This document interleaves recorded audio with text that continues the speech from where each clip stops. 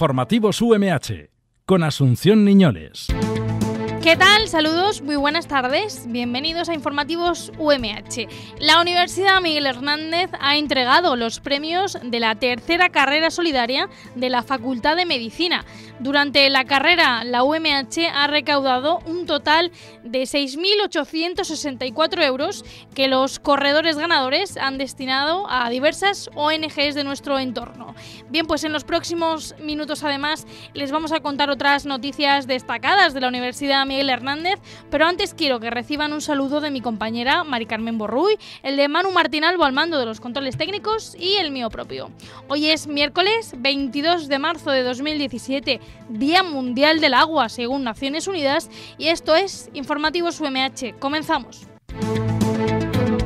Entrevista. El próximo viernes 24 de marzo arranca en Orihuela la Senda del Poeta, una actividad cultural y senderista cuyo objetivo es visitar durante tres días los lugares que marcaron la corta pero intensa vida de Miguel Hernández y su extensa obra. Hoy en Informativos UMH hablamos de esta iniciativa que conmemora el 75 aniversario de la muerte del poeta de Vientos del Pueblo con Esther Fuentes, vicerrectora adjunta de Extensión Universitaria de la Universidad Miguel Hernández. Y hablamos también de una visita. La UMH celebra el Día Mundial del Agua con una excursión por los manantiales y acueductos de la Rambla Salada en Albatera. Prácticas profesionales. Un grupo de 30 estudiantes del grado en, en fisioterapia de la Universidad Miguel Hernández se prepara para atender a los costaleros de la Semana Santa de Elche.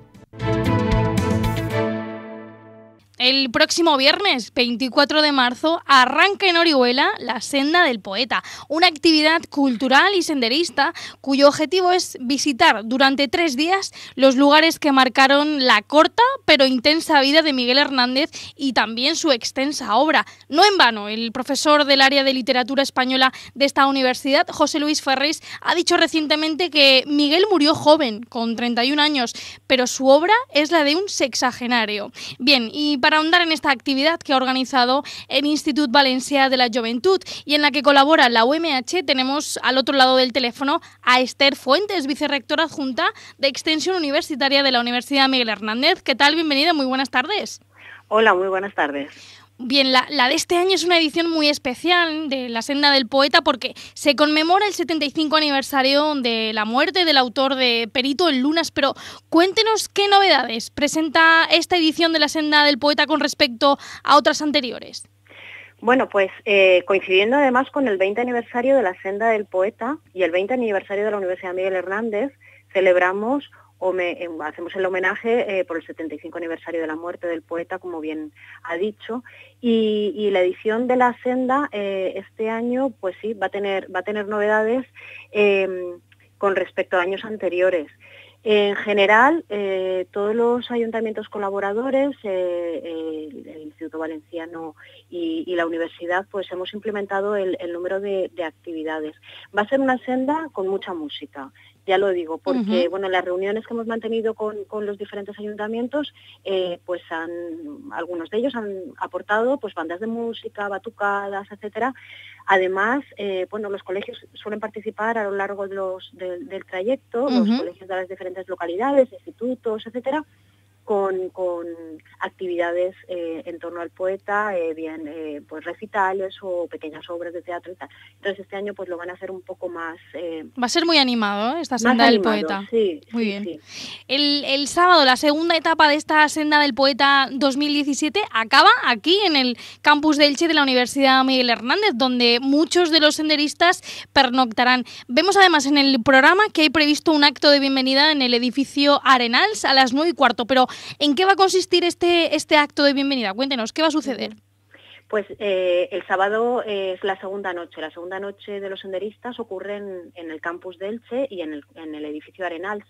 Eh, los senderistas empiezan a llegar en torno a las 7 eh, de la tarde y se les empieza a, atender.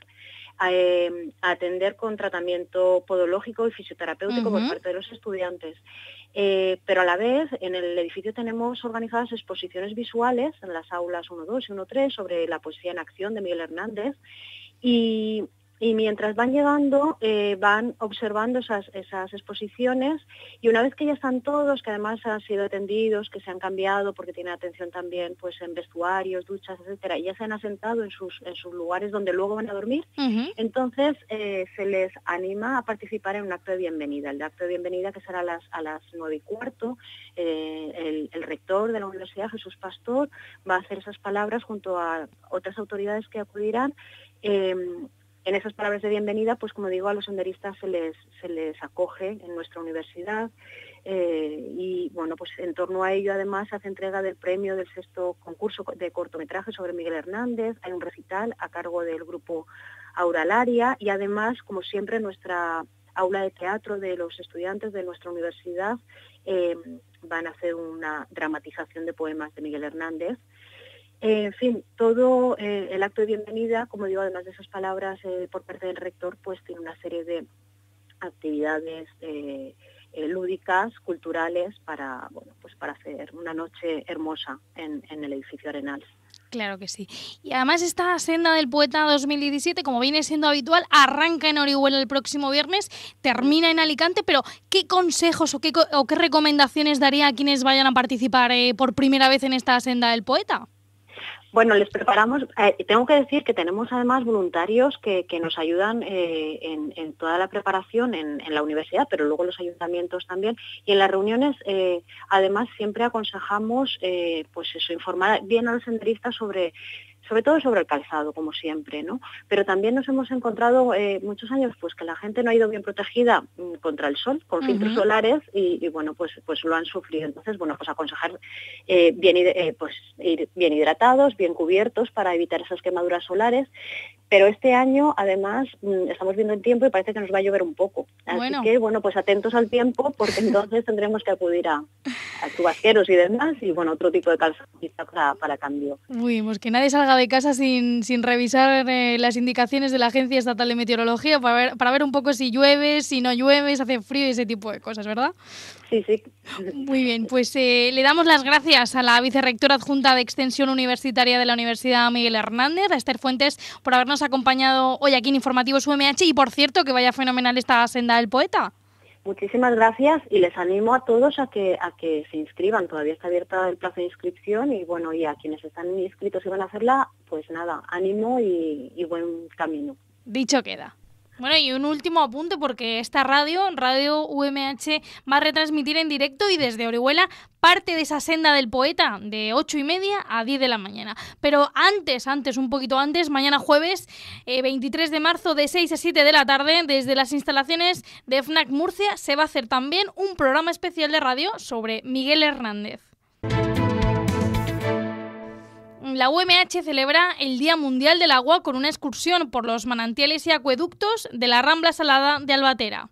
Una excursión por los manantiales y acueductos de la Rambla Salada de Albatera es la actividad que han organizado la Universidad Miguel Hernández, la Universidad de Alicante y la Diputación Provincial de Alicante dentro de la jornada Hidrogeodía. El profesor del área de Geodinámica Externa de la Universidad Miguel Hernández y organizador de esta actividad, Ernesto García Sánchez, cuenta el propósito de esta actividad. Los objetivos principales por los que se han organizado esta actividad pues sería dar a conocer la importancia de las aguas subterráneas para el desarrollo y el bienestar de la sociedad y también pues eh, desde el punto de vista del buen funcionamiento de los ecosistemas. Bueno, dar a conocer esta importancia de las aguas subterráneas en, en la provincia de Alicante porque como es una actividad el hidrogeodía que se hace a escala nacional, pues cada provincia planifica un poco este día. Conocemos también los detalles de esa excursión que tendrá lugar el próximo domingo 26 de marzo. Es una excursión circular organizada desde el punto de vista de un ecosistema muy peculiar en estas regiones semiáridas. Tendrá un inicio y retornaremos a ese mismo punto. En distintos puntos de este recorrido circular habrá monitores que expliquen en esas paradas pues lo peculiar que se puede observar en cada una de ellas. Vamos ahora con unos breves. Un grupo de 30 estudiantes del grado en fisioterapia de la Universidad Miguel Hernández se prepara para atender a los costaleros de la Semana Santa de Ilche. Bien, pues nada más. Hasta aquí el informativo de hoy, miércoles 22 de marzo de 2017. Nosotras volvemos mañana con más información sobre esta universidad. Hasta entonces.